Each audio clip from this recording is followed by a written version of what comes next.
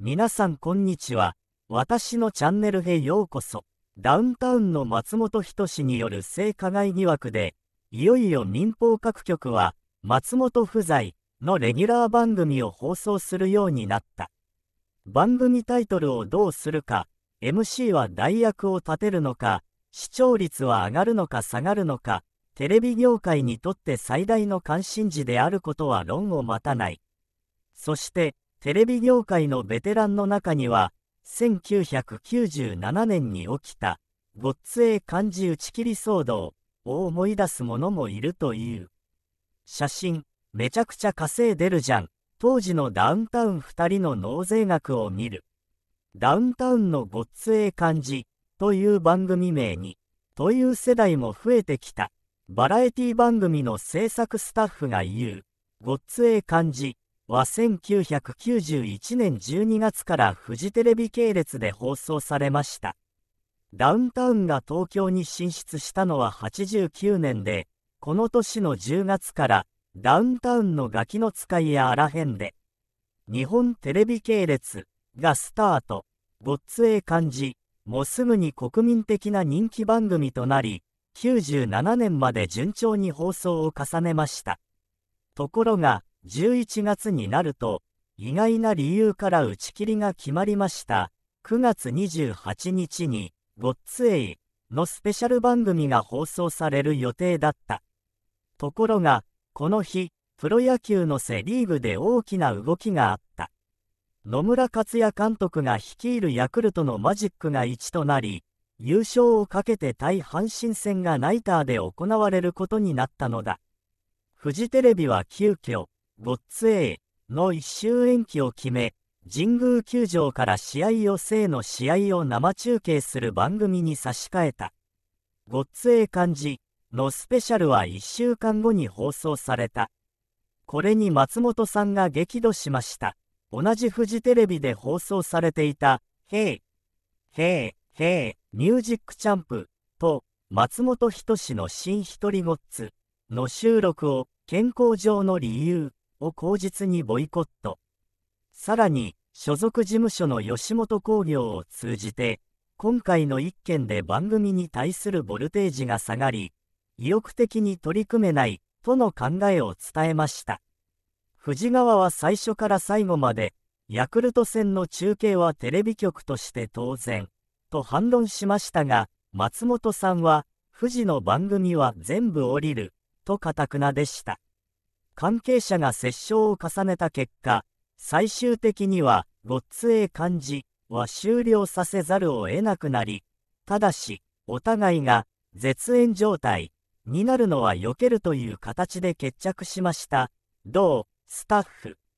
松本とフジテレビの因縁、ビデオリサーチの調査によると、ごっつええ感じの視聴率は関東地区でコンスタント25%を稼ぎ、関西地区は20%に達することも珍しくなかった。それほどの人気番組が、松本の激怒で突然終了してしまったのだ。当時の力関係を考えると、富士が松本さんを無理やりにでも抑え込もうと思えば、できたかもしれません。しかし、結局は番組終了という最悪の結末を迎えました。それだけ松本さんの怒りが尋常ではなかったということです。あれから約30年が経ち、多くの関係者は忘れていましたが、松本さんに性加害疑惑が浮上すると、ごっつの時と同じように、松本さんはフジテレビに怒りをぶつけるのではないか、と言われるようになってきたのです。同スタッフ、フジテレビは松本の冠番組として、松本中井と人志松本の酒のつまみになる話の2本を放送している。このうち、松本中井は28日の放送で動きがあった。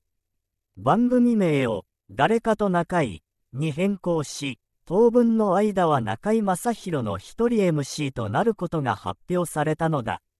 制作現場は大変だと思います。そもそも松本さんと中井さんというペアがあっての企画ですから、片方が欠けると番組の存在意義がなくなってしまいます。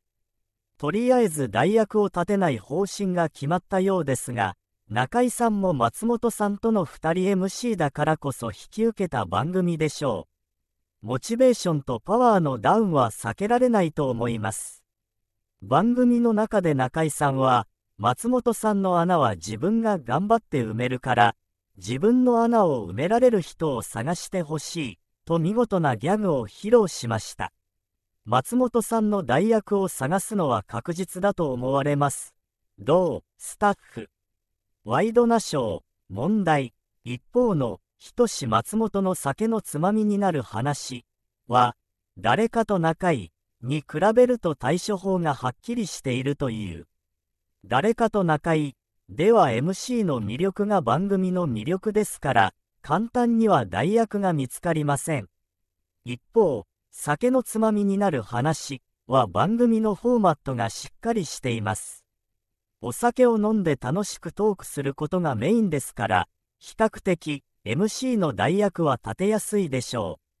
視聴者の理解も得られやすいと思います。どう、スタッフ、松本にとって冠番組から降板させられるのは、決して気持ちのいいことではないだろう。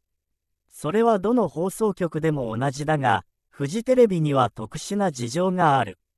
松本が X に事実無根なので戦います。それも含めワイドなショーで回す、と投稿した問題だ。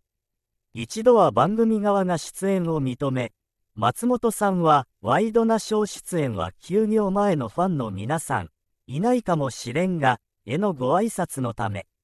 顔見せ程度ですよ、との投稿まで行いました。それが一転してご破産になってしまったのですから、松本さんの心境は複雑なものがあるでしょう。どう、スタッフ。松本が富士に不信感。この問題に関しては、朝日新聞や東スポなど複数のメディアが、番組側は出演させるつもりだったが、富士の上層部が難色を示した、と報道している。松本は、ワイドナショーのスタッフと打ち合わせを重ね、出演を確信して X で発表した。にもかかわらず、富士上層部のせいで取りやめになってしまった。松本が、まるで自分が嘘をついたようになった。顔に泥を塗られた、と受け止め、富士に不信感を覚えたとしても不思議はない。そして業界内の一部には、このことでフジテレビと松本さんは揉めているらしい、という情報が伝わっています。そのために、ヤクルト戦の中継で、ゴッツが中止になったというエピソードが再び脚光を浴びたわけです。松本さんは怒ると手がつけられない。松本さんにとって理想的な展開で裁判が終結し、テレビに復帰できるようになったとしても、富士の番組は復活しないのではないか、そんな声が出ています。どう、スタッフ。デイリー新潮編集部、どこで思いますか？コメントセクションをチェックして、次のビデオを見てください。